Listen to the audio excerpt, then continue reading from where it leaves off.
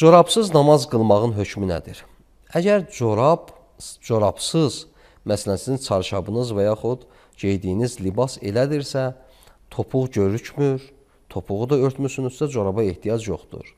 Amma xeyr, yuxarıdandır, o zaman yəni topuq görünür, topuqdan yuxarı görünür, o zaman corab da geymək lazımdır. Yaxud corab geymək ki, zəruri deyil. Bir şeylə onu örtmək lazımdır. Məsəl üçün biraz bir qədər uzun etmək lazımdır libası.